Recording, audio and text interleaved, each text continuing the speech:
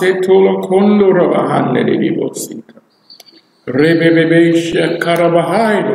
babose. Mighty God, mighty God, mighty God, mighty God. Mighty God. Father, I just thank you this morning, Father, for this session, Lord God. I thank you this morning, Father, for your grace and your mercy and your peace. I thank you, Lord God, that you are the only one that uh, touches our life in the way you do. You are glorious and magnificent, God. And Father, your mighty power is released in this earth towards us. Welcome, welcome to Morning Prayer Live. Amen. Coming to you from the beautiful parish of St. Mary on this wonderful island of Jamaica. you may see a little bit different format this morning. well, I am testing some new software. Well, it really isn't new software. I've had this software for maybe two years. I just really haven't gone out and done anything with it. Good morning, Brother Devlin, Brother, um, I saw Tyrone, Stephanie, Paula, saw you all coming on this morning. Wonderful to have you with us. And uh, but this software is it's called the producer, and so I've kind of been tailoring it finally to to work. So you see the streamer on the bottom, um, you see our logo and all of that. Well, thank God. Now we need a little bit better camera to work on it. But God is so good to give us the opportunity to do what we're doing. Amen. This morning, I want to ask you to join us, to be a partner with us. This is Acts Mission Jamaica, and uh, we just so appreciate all of you that are a part of this ministry. Um, whether you are a financial partner, and we would love you to be one, whether you are a prayer partner, and we would love you to be one, you know, somebody, I, I'm just amazed at the people. We have several people, for example, like Stephanie Ruth, um, several people in Australia, my God, several people in, in, in, in, in England. I mean, folks all across the Caribbean, and then other places across the world, from Europe to the Middle East to the African continent, people that are just there that pray with us um, good morning, Cedrica. Good to have you on with us this morning. Amen. That's Jamaican, by the way. This morning. wonderful, wonderful, wonderful to have you all again. I want to talk about something this morning, and I hope I'm not forgetting anything. I'm kind of excited about the new software and all of this stuff going on. Amen. We don't have music today because I am still if you see the wires around me right now, you would understand why. because I'm trying to wire the laptop to the camera and uh, to, to the, uh, the soundboard. And, and not that I can't do it, um, because I've done it many times, but it takes a little bit of effort to make sure that they're all wired together and then to test them. I was up at 3 o'clock this morning in here, in this room upstairs, working on it, and I finally decided to do it this way because I was going to use something else. But, um, but thank God, amen. Um, but I want to talk about a topic this morning that the Lord brought to my heart after Sunday's message. And if you haven't seen it yet, I want you to go you know find Sunday's message. It's on YouTube. It's on um, Facebook. Go find it you know, it, it is resur- it is about the resurrection power of God. But I don't believe it's a resurrection message or resurrection Sunday message that you've ever heard before. because what I talked about was what resurrection power released in the earth caused to happen to you. And it was not just the fact that you were given the privilege of becoming you know, a member of the body of Christ. There was something that was so key to the release of resurrection power to effect, not affect, but to effect, that is to create, to move you into ultimate divine destiny. And divine destiny, not just to be around here and be born again and to walk around and say Jesus is Lord and to maybe testify to a, to a few people and get them born again or to be a minister. There is an ultimate destination for all of us in the kingdom of God. And if you go back and you listen, you will hear how I talk into, I talk from rather, um, Revelation 19 and Revelation 22. How Revelation 19 and Revelation 22 and several other places talk about you in end time ministry. hallelujah. Talks about you and what God does for you, my God. Amen. And so I, I really encourage you, go back and listen to that. but after the message, hallelujah, glory to God, glory to God, glory to God. Somebody is feeling really down and depressed. I don't know who. It may be somebody that's on now, or it may be someone that will be on later. But you're feeling really down and depressed. I want to encourage you this morning, and I'm going to pray for you. Father, in the name of Jesus, I thank you for that individual, Lord God. I thank you, Lord God, that the very presence of God would overshadow them. I thank you, Lord God, that men and women that know them, Father, will call. Father, will, Father God, engage them today because they're alone and they feel so alone.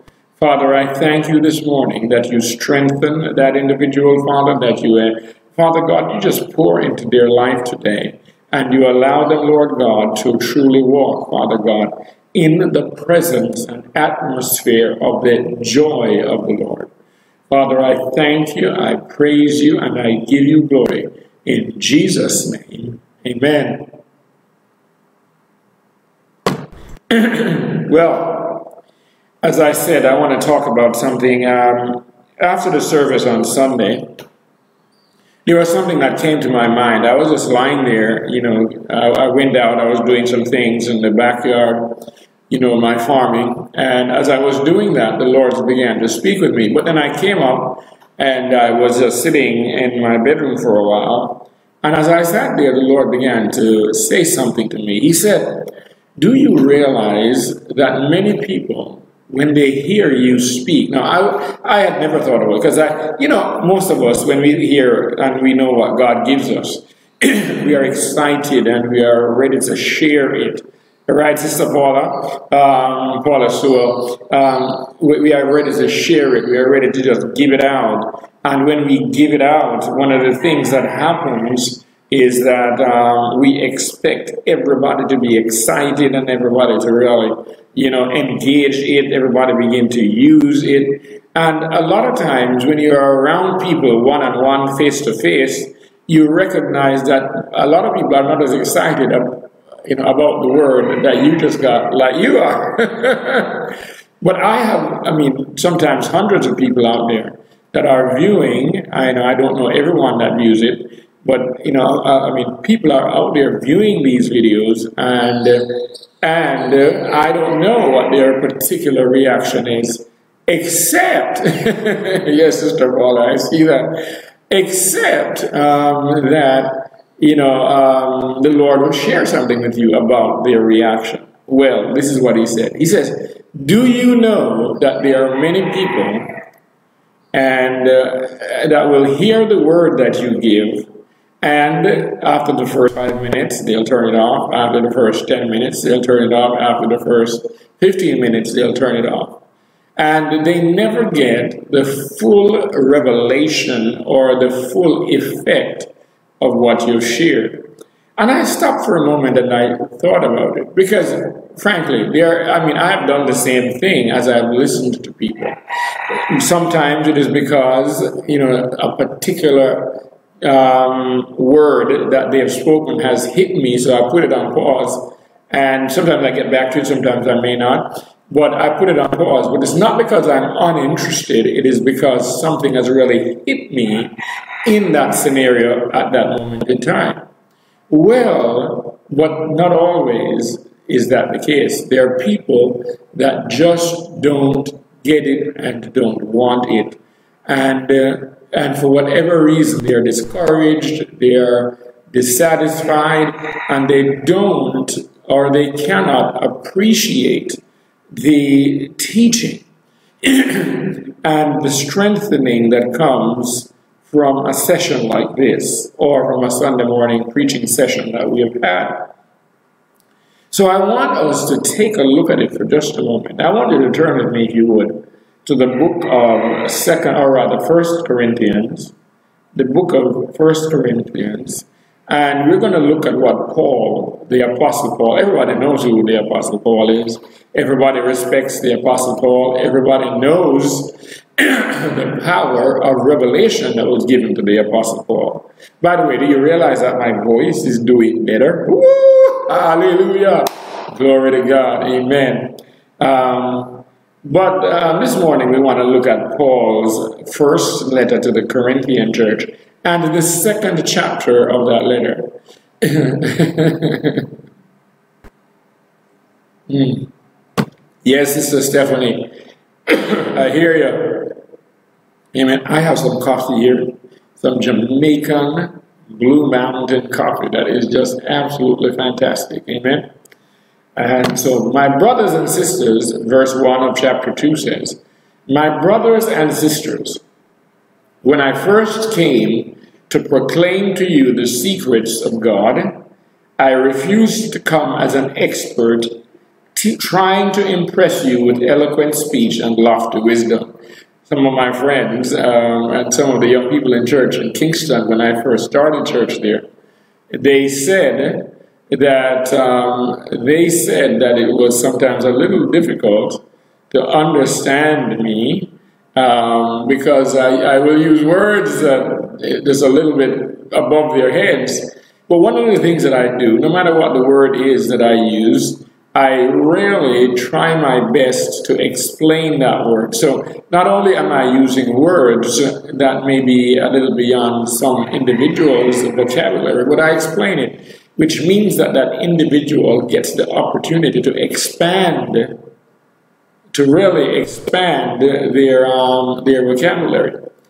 But on the other side of it, there are things that I may speak about that are a little bit more in depth than you might have heard from your pastors, your other teachers, or just even from your own individual study. There might be things that have a greater depth, or maybe you're looking at it from a different side of the mountain when I begin to share. And so I am looking now um, at Paul's writing, and I'm saying that when I come, I, I, don't, I don't want to impress anybody, either with the way I speak, either with the words, that the particular words I use, because how God taught me to be able to communicate to the body of Christ was an interesting scenario. What he did was he invited me to go to a church and to begin to teach four and five year old, which I did not want to do. I'll be, I'll be frank with you. I did not want to go in, I did not want to teach them because I believed that I wanted to be in some adult ministry my God, in some adult ministry, I did not want to be, you know, concerned with little ones because I wanted to, I wanted to go into the nursing homes and heal the sick, and into the hospital and lay hands on those that were unwell. And uh, he put me in a classroom with 84 and five year olds. And I had to learn how to do some things and share the gospel message in a way that was tremendously different than teaching adults. So I had to break it down in very simple terms, my God. And so what happened, thank you all for those words, but you know, what happened was that I, I understood how to put things in a way that people would, would get it. Amen? But then I did not also want people to stay where they were. So what I would do, I would use things, examples and words that would begin to elevate individuals. So you're seeing some of my strategy. It's to elevate individuals, to bring them and pull them out. I don't want people to stay where they are. If I am in a place with God, I want to pull you along. I want you to come take a tour with me. I want to grab you and say, hey, come on, let's taste and see the goodness of God. I don't want anything that I have experienced to be so, you know, far fetched and far away from you that you don't have a good understanding or the ability to apply it to your life. Amen. In a practical sense. So, God gives us the ability to communicate those things in simple terms. And so Paul is saying something in similar fashion here. He says, I don't want to impress you with my eloquent speech and lofty wisdom. he was a smart man. He had degrees up to the gazooks, you know, and uh, and yet he makes this statement. For a while, verse 2 says, I was with you. For a while I was with you. I was determined to be consumed with one topic. And listen to what topic it was Jesus, the crucified Messiah. I stood before you feeling inadequate, filled with reverence for God, and trembling under the sense of, of the importance of my words, the tremendous weight of the glory of God, the responsibility to share the Word of God, the, the, the, the sense of giving out to the people of God is something that I and people like myself hold in such high regard that we want to ensure that what we communicate is genuine, it's truth, and it's something that will change you, change us, and change the world around us. Amen.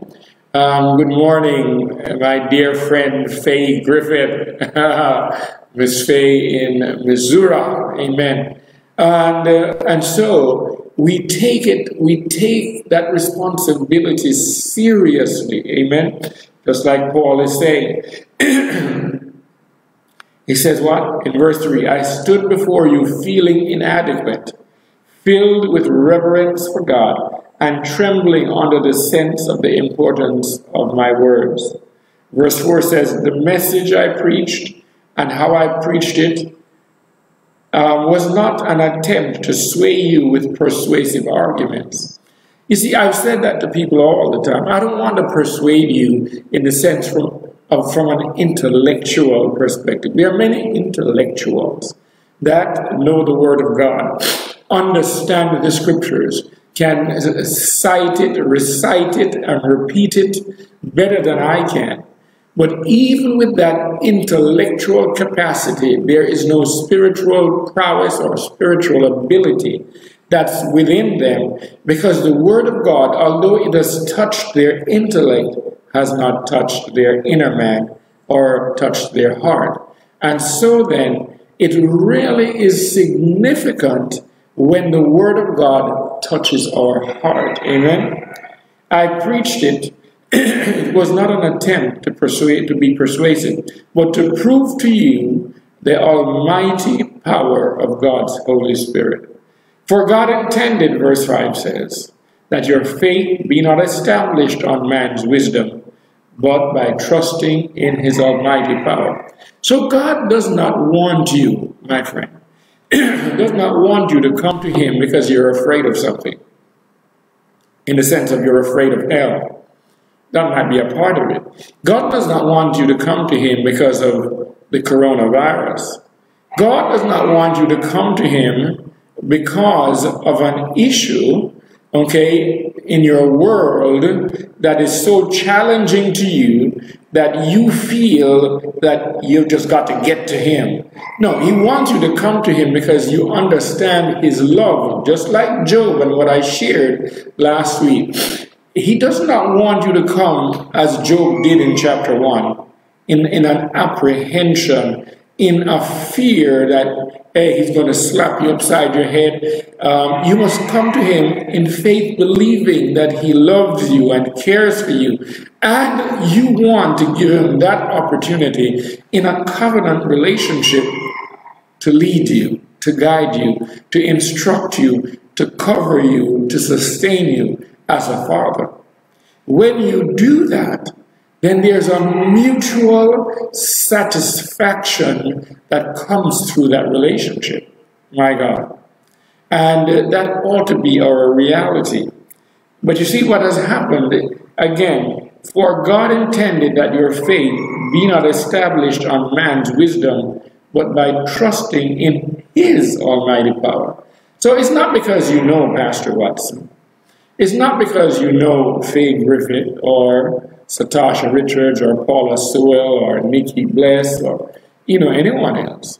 It, the faith of God and the believing in God and the fullness of fellowship and relationship with Him, the awesome manifestation of God's power will only be fully realized when you truly trust Him.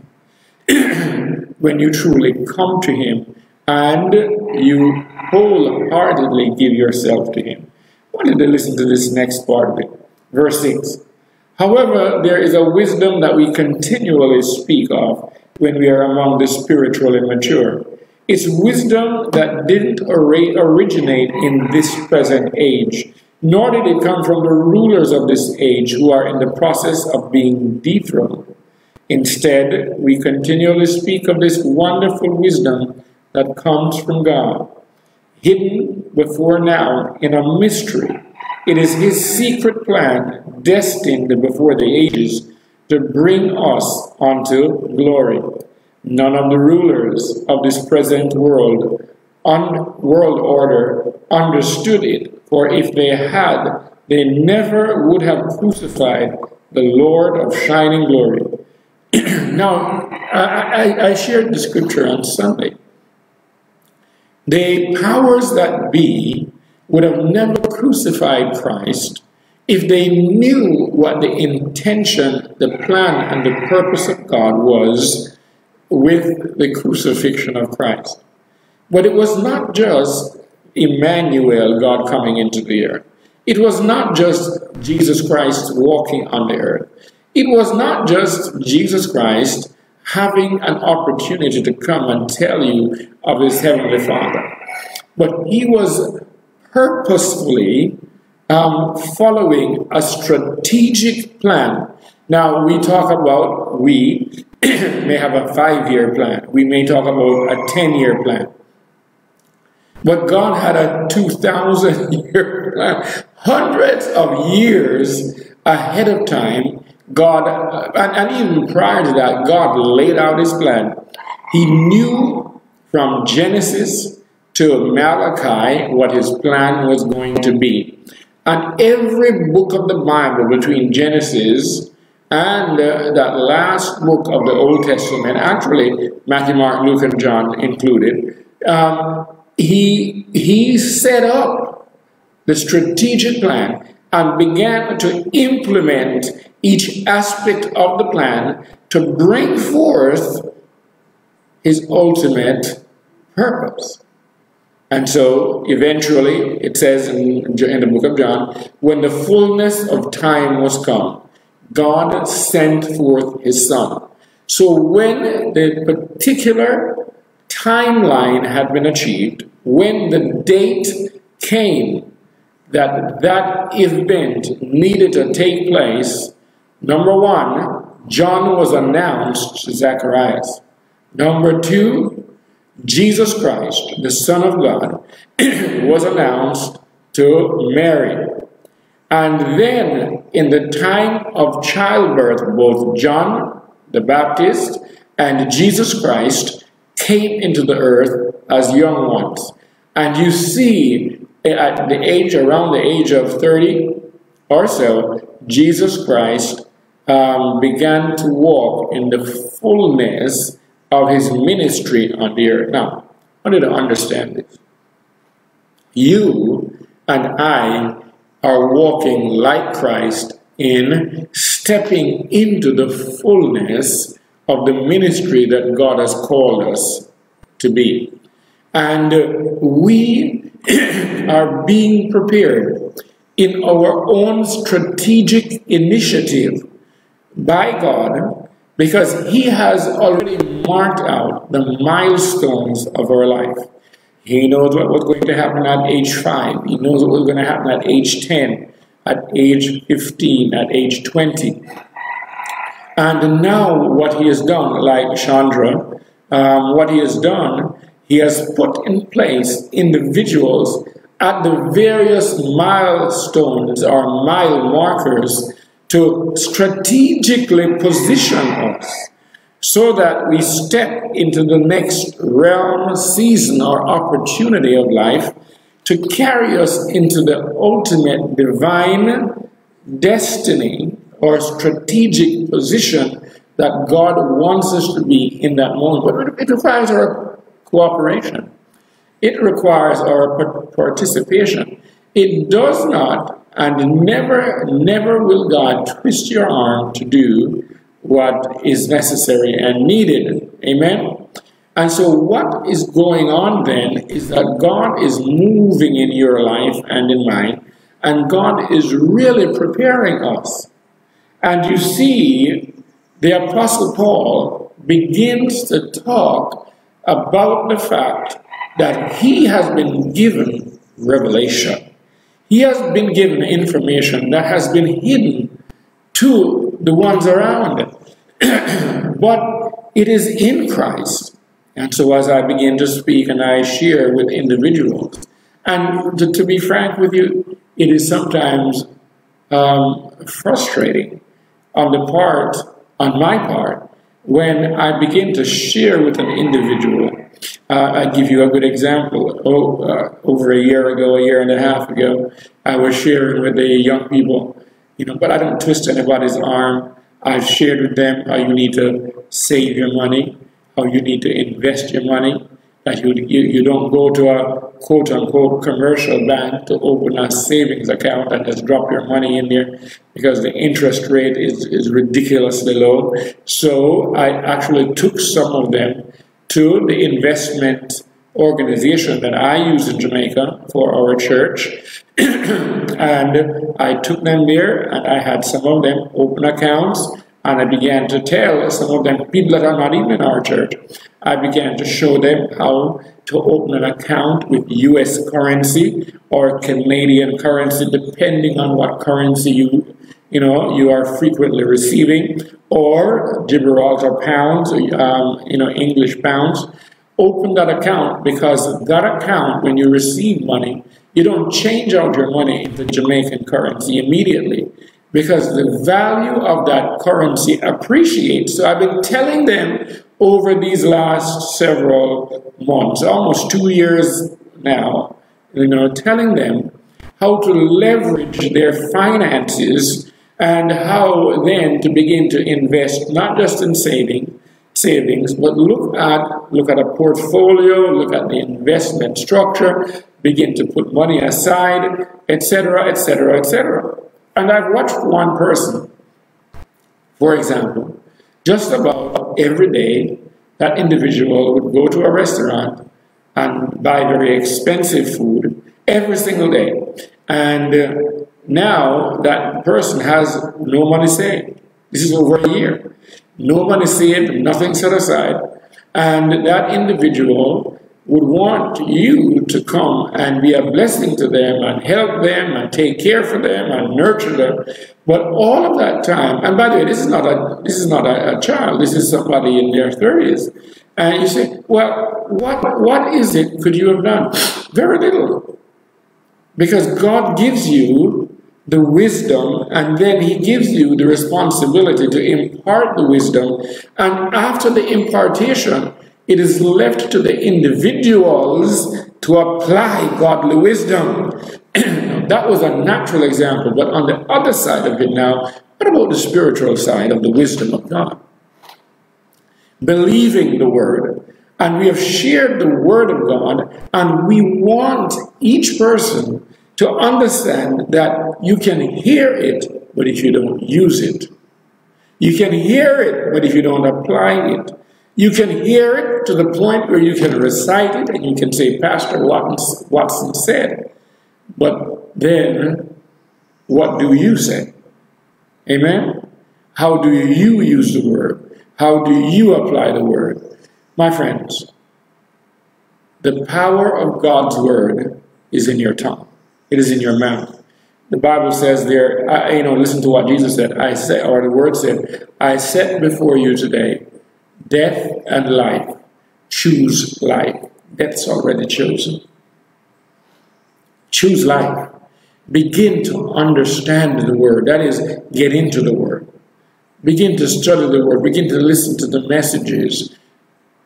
And allow the word of God to encourage your heart and fill your heart and fill your life. Let us truly be, begin to be the sons and the daughters of God that He intended us to be. Let the strategic plan of God come into being in our life in a dramatic way. If you remember on Sunday, if you watched the message, I talked about resurrection power. I talked about the awesome release of a power of heaven to pull a dead man's spirit out of hell itself and to bring him back into the physical earth, my God. And when it brought him back into the physical earth, the spirit went right back into his body. The stone was rolled away from the grave, and he came out of the grave. That was Jesus Christ. But the awesome power of God was so dramatic, my God. Hmm? That awesome release of power was so dramatic it says in the book of Matthew that, I think Matthew 22, it says in the book of Matthew that other people that were dead came out of their graves because of the release of that righteous power. I'm not talking about people that were in sin. I'm talking about the righteous men and women of God that had died in faith and believing God in their way. What happened? They came out of the graves and people saw them walking around. So awesome was that release of power. You know, the Apostle Paul talks about the resurrection power of God. Can you imagine that?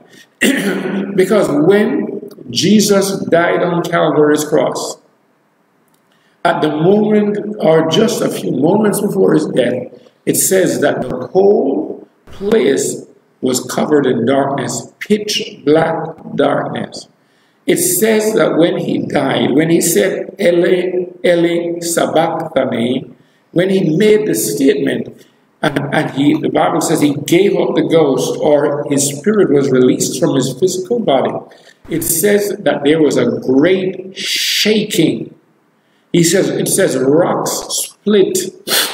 Uh, I, I, I, can you imagine the very earth groaned. the very earth realized that there was a power that was getting ready to enter it that it could not contain.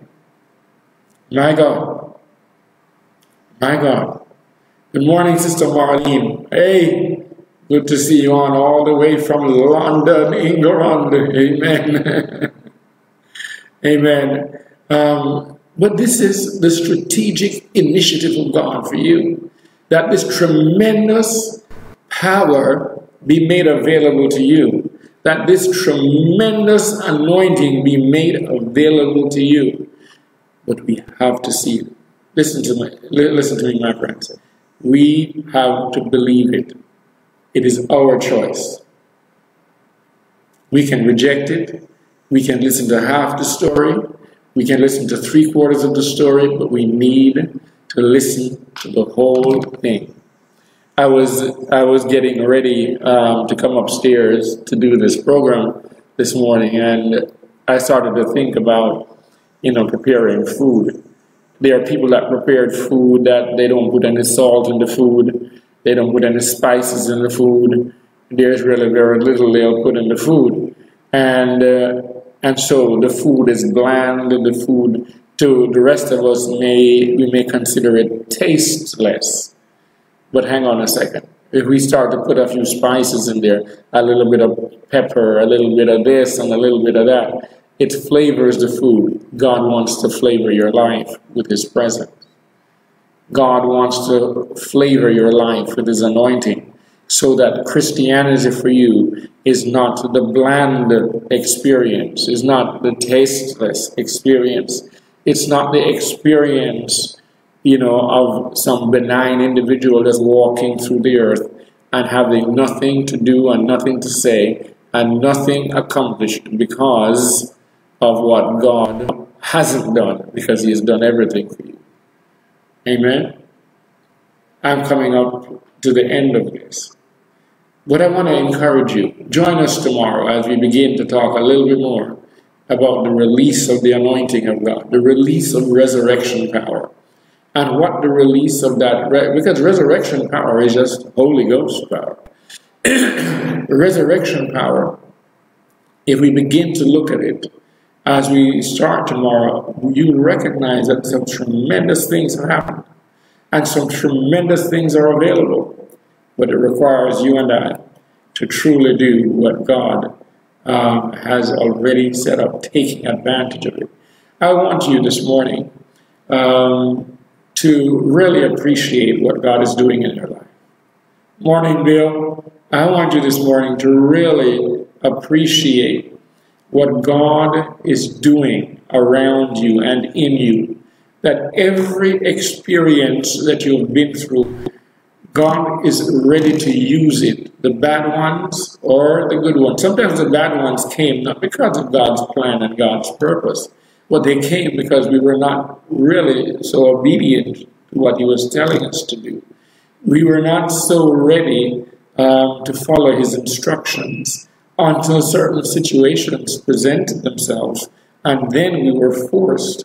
It is never God's purpose to throw us down one, one young lady that I know said God had to empty her of her finances so that he could show her his faith. No, he doesn't have to empty you of anything to show you something if you're obedient. If you're obedient, he will pour into you without, without any of those things or any of those negative circumstances coming into play. if you study without being forced, and you retain the information that you've studied, you pass your exam. And unless you don't want to study, and then somebody has to crack the whip, somebody has to push you, prod you, and uh, force you to study. But God doesn't want to do that. You know, um, He wants you to make the choice to believe. He wants you to make the choice to be a part of His kingdom in a tremendous way so that His strategic plan for your life truly comes to pass. Mighty God, have your way in each one of our lives. Help us to walk worthy of the faith you have given us. And Lord God, I so thank you for the greatness that you are in my life and in the lives of those that are part of our family. I pray this prayer, Father, in the mighty name of Jesus. Protect them, keep them, Lord God. Cover them, Father God, with the blood of the Lamb and ensure, Lord God, that their lives are preserved beyond, the Lord God, this season of testing and trial for the earth. Father, we bless your name. We give you all glory and honor in the mighty name of Jesus. Friends, I encourage you to be a part of this ministry. We would love you to be a monthly partner with us. Uh, I will put the, the links on the screen. I would love you. So many of you have known you for years and you know we've been able to minister to you and encourage you. Why don't you take a moment now and ask god god do you want me to give back? Do you want me to support? Do you want me to do something for this ministry? And if you believe the lord says so come on um, get online and, and make make a contribution. Um, decide to become a monthly partner with us. Amen? And you will indeed receive a blessing I'm not saying that just because you do it, God's going to bless you. God will bless you even if you don't do it. But the fact of the matter is, maybe, maybe, just maybe, God's been talking to your heart. Just maybe the Lord has been touching you. And what you will allow us to do is to be even better and more capable of doing the work of ministry that God has called us. So I want you to think about that and think about, hey, it could be $10, $20, $30, you know, whatever the amount is, $100, $500, $1,000 a month. You know, if the Lord has so blessed you, um, surely um, we appreciate you sharing it with us. God is resetting so many things in the earth in this season. Um, he's redirecting finances and He's giving each one of you an opportunity to see what the source is of your strength. He's giving each one of us the opportunity to see it's not in the building.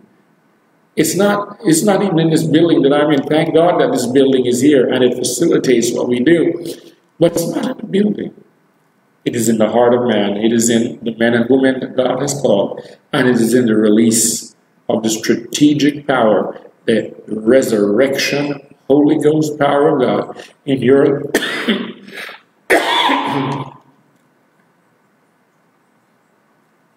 in your life and mine that will make a difference. So inbox me or look on the on the feed. I will have the links there. You know, get to Stephanie Dillon, get to you know Gail Conan, or, or get to myself. And they are in the U.S. I am in Jamaica you know, get with some one of us and we'll give you all the links. Just find us at www.actschurchjamaica.org. That's what? www.actschurchjamaica.org. Or WhatsApp me at 876 451 9844. That's 876 451 9844. if you're in Jamaica, I'd love to hear from you. In the Caribbean, I'd love to hear from you. Wherever you are in the world, just send us a message. Tell us how you're doing, especially in this season. And we continue to plead the blood of the Lamb over your life. May God's grace be upon you. In Jesus' name. Friends, have a wonderful rest of the day, and we'll see you tomorrow. And tell me how you like what we are progressing to do here in Morning Prayer Live. Amen.